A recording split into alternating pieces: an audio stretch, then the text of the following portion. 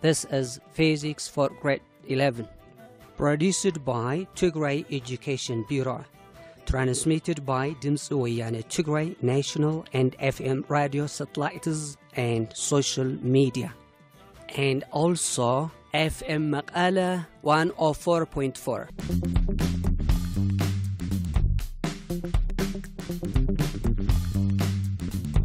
Physics for Grade 11 Presenter Gaur Meskel Xavier. Hello students. Students In the past you have learned about rotation in a fixed axis. Now you will learn torque and angular acceleration. Torque is a turning effect. Torque is total moment acting on a body above the axis of rotation. It is measured by multiplying the force by its perpendicular distance from the axis. The equivalent quantity to the torque in the linear motion is the force. Torque is equal to force times perpendicular distance.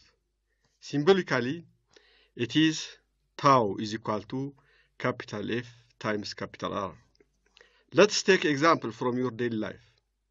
Student, you daily open and close the door. Suppose you open the door of your house by applying a force of 10 Newton on the knob. If the knob with the door moves half a meter, how much is the torque applied? The given quantities are force 10 Newton, distance half a meter, and both force and distance are perpendicular to each other. Once, if you know the given quantities, it will be easy to calculate the required or the unknown quantity, that is torque. Solution. Torque is equal to force times perpendicular distance. That is, torque is equal to 10 Newton times half a meter. Solving and simplifying it will be 5 Newton meter. Note that, in this case, Newton meter is not equal to joule. Torque is a vector quantity. Therefore, in determining the value of torque, one has to determine not only its magnitude, but also its direction. To determine the direction of the torque, we use the right hand rule. Pay attention. Right hand rule. Hold the index finger, the middle finger, and the thumb of your right hand at right angles. Take the displacement to be in the direction of the index finger and force to be in the direction of the middle finger. Then the direction of the torque will be in the direction that the thumb is pointing. I will repeat it once again. Take the displacement to be in the direction of the index finger, the force to be in the direction of the middle finger, and the direction of the torque will be in the direction that the thumb is pointing. Activity. Practice right hand rule just now. 30 seconds.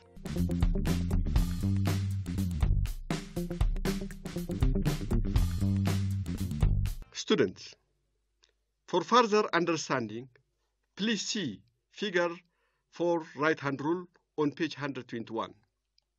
Generally, to calculate the magnitude of tau or torque, we use the formula tau is equal to r cross f. That is magnitude of r times magnitude of f sine theta. If r and f, that means the displacement and force are perpendicular, sine theta will be 1. Therefore, torque will be simply r times f.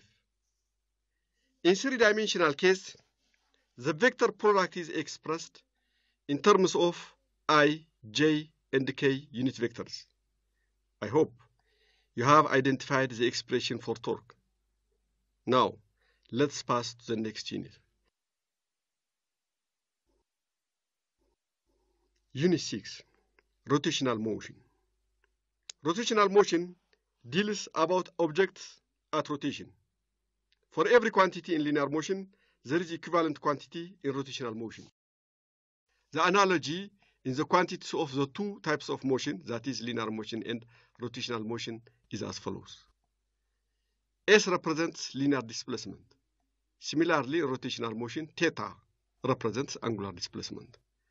V represents linear speed. Similarly, omega represents angular speed in rotational motion.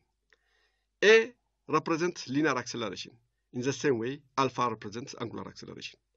F represents force in linear motion. Torque tau represents torque turning effect in rotational motion. M mass in linear motion. I moment of inertia in rotational motion. P represents linear momentum. L represents angular momentum in rotational motion. W represents work done in linear motion. Similarly, the same W represents work done in rotational motion. Therefore, for every quantity in linear motion, there is equivalent quantity in rotational motion. In our next discussion, we will see the quantities listed as quantities of rotational motion. Work is expressed in terms of force and displacement. That is, work is equal to force times displacement. In similar way, work in rotational motion is expressed as work W is equal to torque tau times angular displacement theta. Aware that tau is placed in rotational motion as F is placed in linear motion. The unit of torque is written in Newton meter as that of work done. But Newton meter unit in torque is not called joule, unlike for that of work done. Work done is result of scalar quantity. Therefore, its unit, Newton meter, Nm, is equal to joule. But in the case of torque, Nm is vector product. It cannot be replaced by joule. The displacement in the case of torque is the angle through which the torque acts. Students, let's pass to the other quantity. The other quantity is angular acceleration. To understand the concept of angular acceleration, consider a flywheel that is rotating with angular velocity omega. When the rate of rotation of the flywheel begins to increase, it is experiencing an angular acceleration alpha. If its angular velocity increases uniformly by change in omega over a time t, its angular acceleration is given by alpha is equal to change in omega divided by change in time. The unit of alpha, that is angular acceleration, is radians per second square. There is a simple worked example. Pay attention again. A flywheel is rotating with an angular velocity of 4 radians per second. A force accelerates it uniformly to an angular velocity of 10 radians per second over 3 seconds. What is the angular acceleration of the flywheel? To solve this, first we identify the given quantities. That is, final omega 10 radians per second, initial omega 4 radians per second, and change of time 3 seconds. The required one is the angular acceleration alpha. Solution. Alpha angular acceleration is given by change in angular velocity divided by change in time. That is final angular velocity minus initial angular velocity over the time interval t. That is 10 minus 4 radians per second over 3 seconds. Simplifying, it gives 2 radians per second square. Students, please answer the following questions. Define angular acceleration in words. Time given 20 seconds.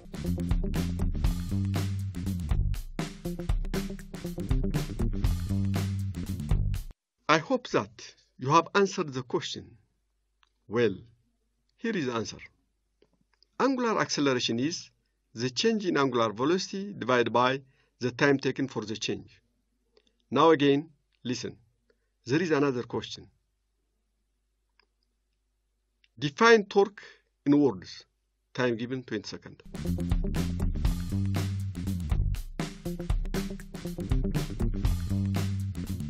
I hope that you have answered it. Well, here is the answer. A torque is a turning effect. Torque is the product of displacement and force. Students, if your answer is similar with the given answer, well done. Now, let's pass to the next topic. The next topic is rotational inertia and rotational kinetic energy. Students, in this subtopic, we will focus more on rotational inertia.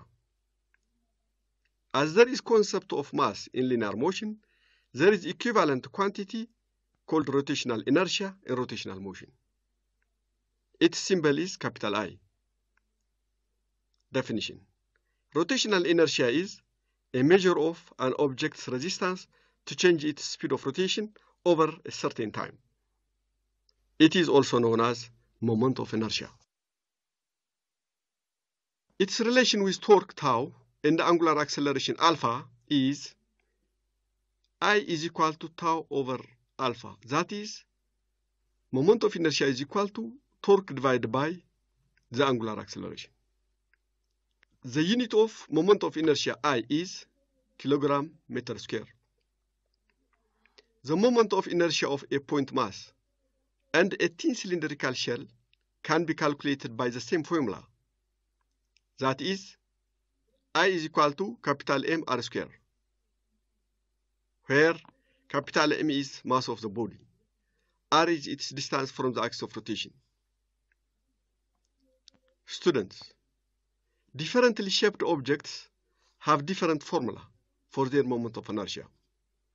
See in your textbook on page 125 later about the formula. I will repeat it. See in your textbook on page 125 later about the formula of rotational inertia for different shaped bodies. Table 6.1 shows formula of rotational inertia when axis of rotation goes through center of the body. The objects that have different shape listed in the table are disc, solid sphere, hollow sphere, thin rod or bar, solid cylinder, and rectangular slab. The rotational equivalent of Newton's second law, F is equal to ma, is tau is equal to I alpha, where tau is the torque, I is moment of inertia, and alpha is the angular acceleration.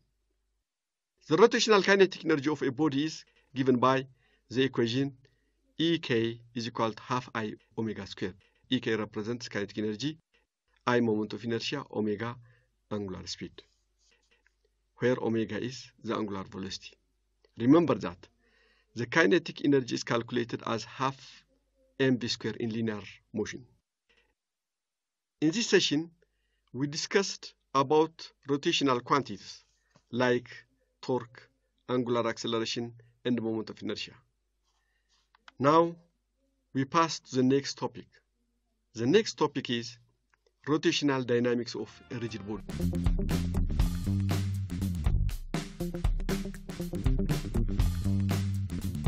As there are four kinematic equations in linear motion, there are also equivalent equations for rotational motion.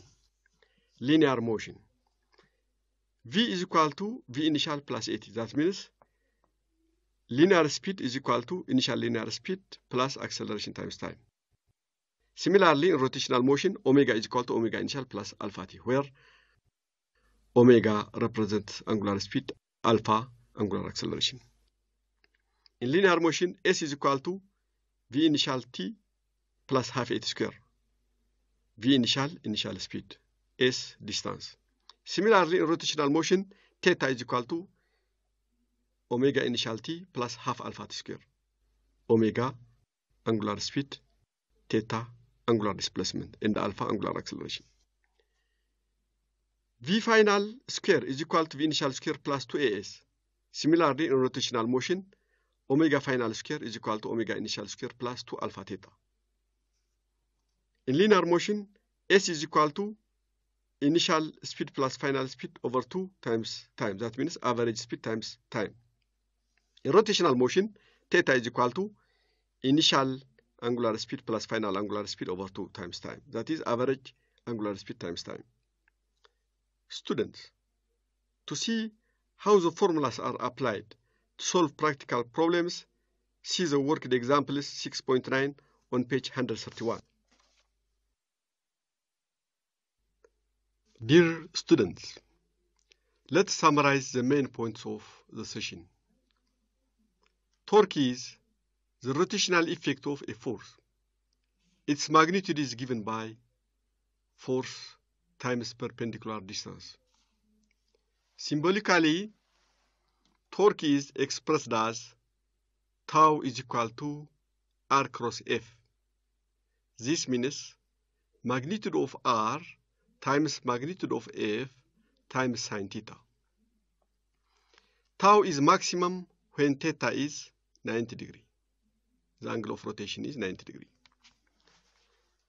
Alpha is the result of unbalanced torque and is given by alpha is equal to final angular speed minus initial angular speed over change of time. And also can be found from the ratio of torque to moment of inertia. Alpha is equal to torque over moment of inertia. We have two formulae to calculate alpha, that is change in omega divided by change of time, and again torque divided by moment of inertia. The other point is the right hand rule. The right hand rule for the torque is simply holding the index finger, the middle finger, and the thumb of your right hand at right angles. Index finger shows displacement. Middle finger shows the force. Then the thumb will indicate direction of the torque. The next point is the angular quantities. The angular quantities are theta, omega, alpha, torque, moment of inertia, angular momentum, and work. What is theta? Theta is angular displacement. Omega represents angular speed. Alpha represents angular acceleration. Tau represents turning effect of a force, that is torque. I represents moment of inertia. L represents angular momentum. W represents work done. The other point is I. I is calculated in different formulae for differently shaped objects. Example, I of cylindrical shell is given by capital I is equal to capital M times capital R square. If it is a disk, I is given by half mr square. Therefore, for differently shaped objects, there are different formulas of I. The next point, rotational kinetic energy. Rotational kinetic energy is calculated as Ek is equal to half I omega square. I represents moment of inertia and omega is the angular speed. Finally, there is assignment to you. Please take a note. 1. Read all the worked examples in your textbook. 2. Answer the review questions on pages 124 and 128. 3. Practice the right hand rule for torque direction. 4. Prepare your own short note for topics 6.1, 6.3, and 6.4 in your textbook. I appreciate your attentive listening. For today, with this we come to the end. Until next week, bye.